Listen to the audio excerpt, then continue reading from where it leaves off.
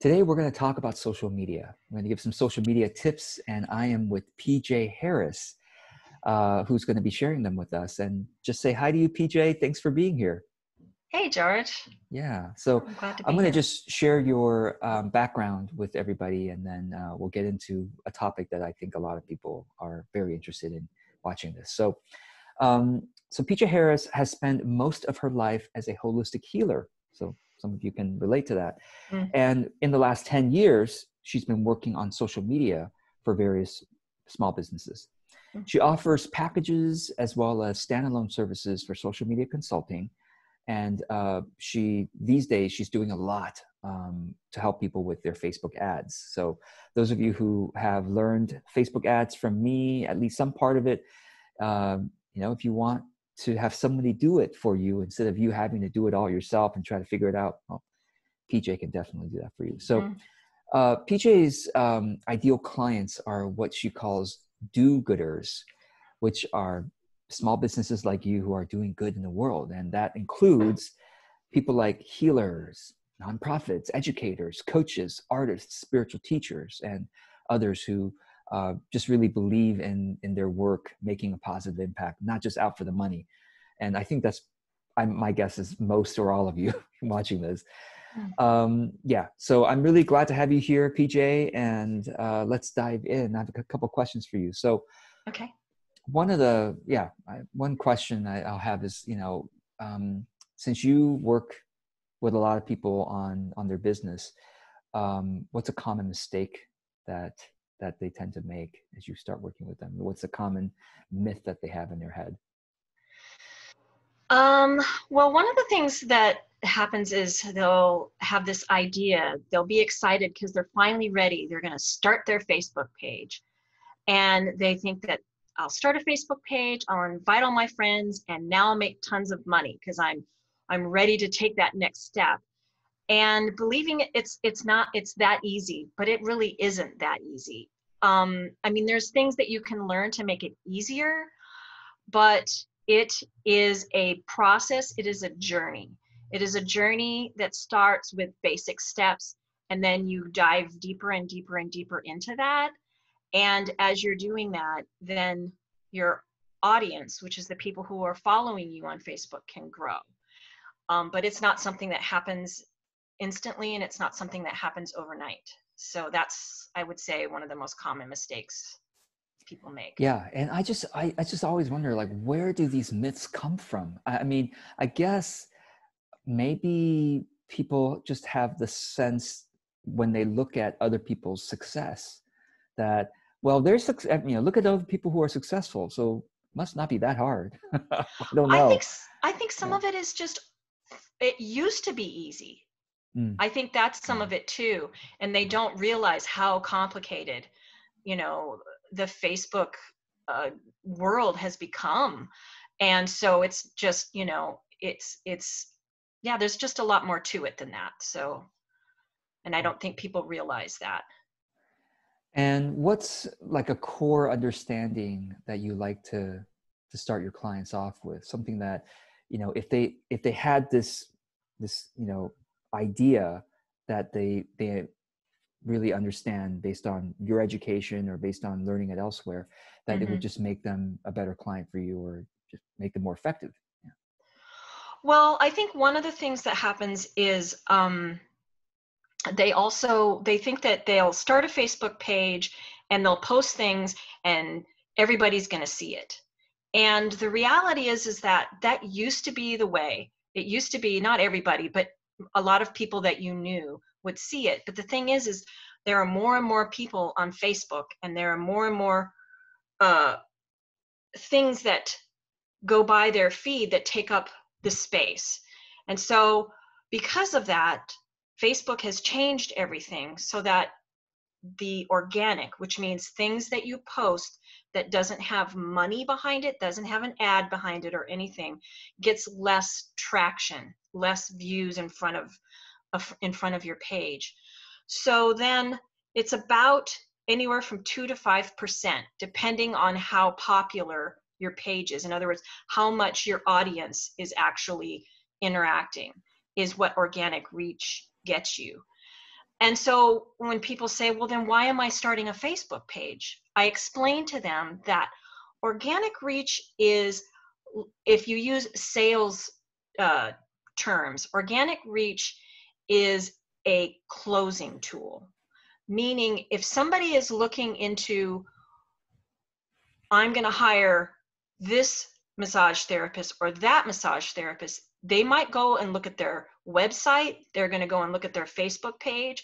If they see on their Facebook page that there's somebody who is active, who seems to be knowing what they're talking about, knowing their field, then it's going to lean things more towards the person who has a more active Facebook page and looks more like a, uh, somebody who knows what they're doing. Now, paid reach is actually that's going to paid ads is the thing that's going to actually find clients for you. That's the difference. So if you think that when you're opening a Facebook page that again, I'm going to invite all my friends and make tons of money. Mm, yes, maybe it happens, but not as common as it used to be. It's very rare anymore. You need to usually put some ads behind it in order for Facebook to be a way for you to reach clients. I like that distinction. Um, that you know the organic is there for people to help them decide. Um, you know, and and and I would say for the two to five percent or however many percent that happens to see it organically, that mm-hmm. continues to build warmth, continues to build um, a relationship with that potential client, etc. Definitely, definitely um, with people you already have. One of the great things is Facebook pages. I mean, it's relatively easy to post there compared yes. to if you have a website and you don't really know how to use it that well. It might be not as easy. And also, when you post on your website, really not that many people see it. Whereas no. you post on Facebook, your business page, at least you get the two to five percent organic, or sometimes higher, depending on the, the post and then you can put ad dollars behind it to reach even more even more people so exactly. do you have any there's um, another but there's one more core understanding is it okay yes. if i share the second one that i oh, was yes, thinking please, of please when do. we were talking about that yeah. the other one is um and this is something that you speak to quite a bit is why do you need to be authentic and build trust and um, that's one of the things is that the the do-gooders that i work with they really really need this and what i use use uh, use this um, example is it's like think of it comparing it to a love relationship. You wouldn't go to somebody in a bar and say, "Will you marry me?" You got to build this trust, and they need to understand who you are and what it is that you offer and why it is that they feel connected to you. So that is one of the things about you know organic we're continuing to work on your organic reach for those warm audiences the people that already follow you is important yeah yeah that's really, build that relationship really important yes yes yeah. absolutely so when it comes to posting on facebook now that you're advising your clients all right you know uh, or doing it for your clients of course they provide the the writing they provide the images or whatever mm-hmm. they want you to post and you could make sure that it's going to the right people running the ads etc so right. when when when you're doing that what's do you have you know like a i guess rule of thumb or or you know recommendation for sure promotion content versus yeah yeah i think that it's best to use 20% promotion uh, with a ratio of 80% entertaining educational um, inspirational, those those kinds of things. That way, you're not coming across salesy, and you're providing benefit. You're providing something. You're providing a service. I mean, we're do-gooders, and the people that are coming looking for a do-gooder is looking for somebody who is who is generous and service oriented. And so you really, they really get to see how you care for them. And how and how how much you know on the other end of that. It's not just one or the other. It's 20% and 80% so they'll see your intelligence and then they'll see your caring. That's great. That's great. Yeah.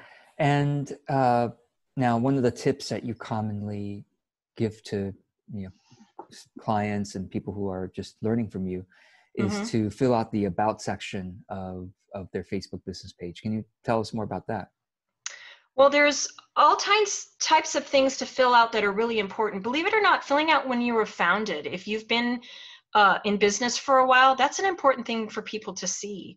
Uh, filling out your education is important for people to know because there are people out there who will comb your Facebook page with a fine tooth comb.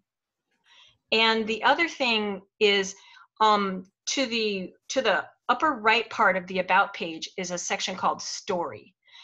And you can put a beautiful picture there and a lovely um, couple of paragraph story about who you are and what you have to offer. And that will will present on your facebook page in the upper right. And uh, you wouldn't believe when i'm doing audits how often people don't even know it's there. And it's really simple to fill it out and give people another shot of what it is and who you are and what you have to offer. Yeah yeah. And speaking of your story i'd love to hear um, why do-gooders? What's the what's the story behind that or what's the impulse the uh yeah tell us more what why you chose this particular group of people. Well it's excuse me it's who i am. Excuse me i'm gonna drink some water sure sure no problem yeah and i i agree i mean having been a holistic healer for 10 years i mean that's the, the background you came to is you're you are at your core about um, the well-being of others yes. and transformation in a positive direction but yeah. Yeah and i'm i've also been a activist i used to do native american environmental justice work as well. Yeah. so i have a strong sense of justice too and a strong sense of just caring caring for the world. And um, i have you know some physical disabilities that keeps me from doing a lot of things that i used to do. Like i was a massage therapist when i was a holistic healer.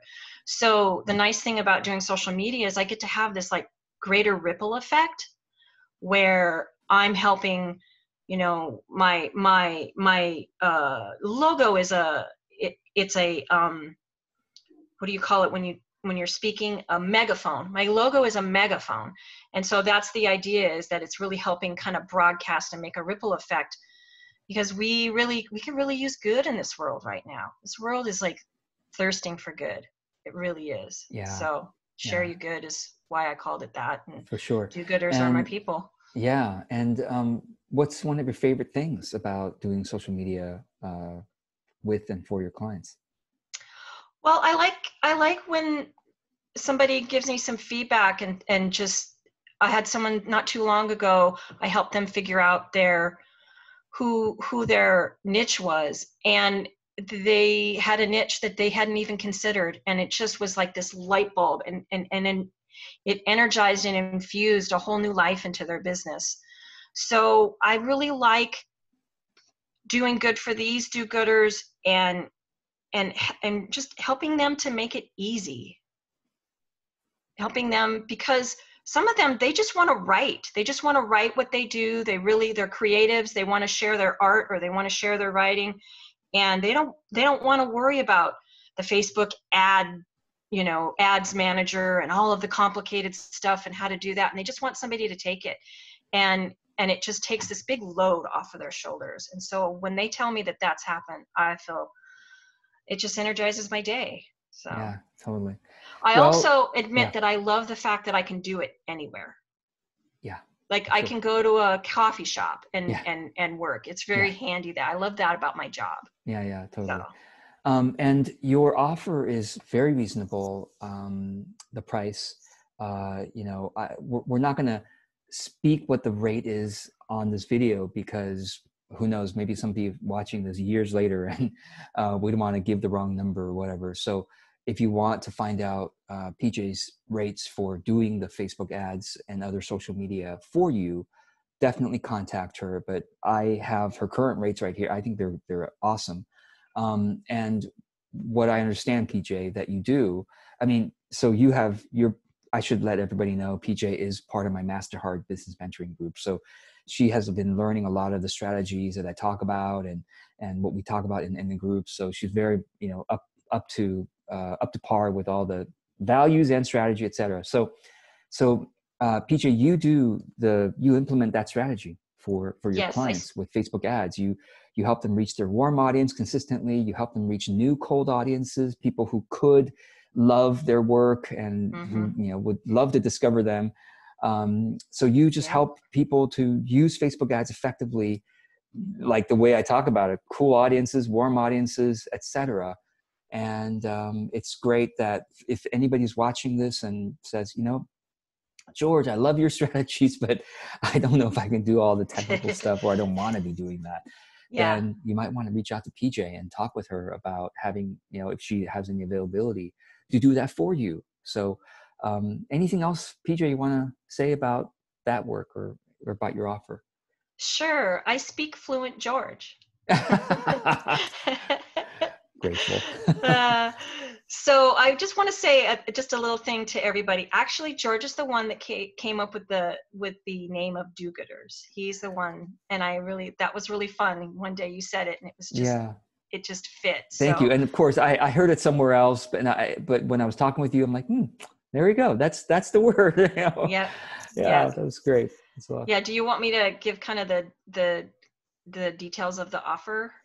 uh, You, well, I, I don't think we need the details. We just know that basically you do the. I wouldn't want to, you know, kind of overwhelm people or people Sure, who don't sure. understand as much. I think basically you implement, you do the the work of Facebook ads yeah. for people who don't want to, who don't have the technical ability to do it uh, Right. efficiently or consistently, or who just, uh, you know, don't have Yeah. the time to do it. You know, so And creating so- audiences too. yeah, creating Yeah. audiences, um, yeah, doing all that. So that's really Yep. great. Yeah. Um, so PJ, do you when you work with clients, um, obviously a lot of a lot of it's done via email. Do you also uh, meet with them via Zoom if they need some hand holding on certain things? Sure, sure. Uh, sometimes people will share their screen with Yeah. me on Zoom and I can Yeah. teach them and tell them where to go. I also can share their screen, but I don't do that very often where I drive for them. Yes. I don't generally do that. I think it's pretty easy to just tell them, you know, go up and to the right and click there. And, Yes. and um, I love helping people do it. I will teach you how to do it. I will do it for you. I will do it with you. Any of those, any of those kinds of things for social media management or ads or, or that kind of stuff. So Awesome. Awesome. yeah. Is, is there any other social media service you want to mention besides Facebook ads? Uh, I like to do consulting. Mhm. So if people want some help strategizing or some brainstorming, um, I've got great creative thought Yeah. uh, Yeah. skills to offer. Um, I Great. Have had clients just come away, you know, they want to do it themselves, but they're not quite sure where to go next or or something like that. I Mhm. had somebody who thought she should be doing Facebook ads and you know, we found out that YouTube is actually what she enjoys. And there I said, yeah, if you love it, do that, you know, and she was so relieved. So, you know, just, Yeah. yeah, I loved consulting as well. Awesome. Awesome. Yeah. Excellent. Well, PJ, thank you so much for the work you do uh, on behalf of do gooders for do gooders. And um, of course, I'll have any links you want to share in the notes um, of the video. Those of you watching on YouTube, it's below. Those of you watching on Facebook, it's probably above. So check out PJ's links and uh, anything else you want to share before we uh, finish this interview. No, I think that's good. Thank you, George, All very right. much. Well, thanks for your work. And um, yeah, folks, reach out to PJ for help on this stuff. She's very approachable and uh, a delight to work with. So Thanks. thanks, PJ.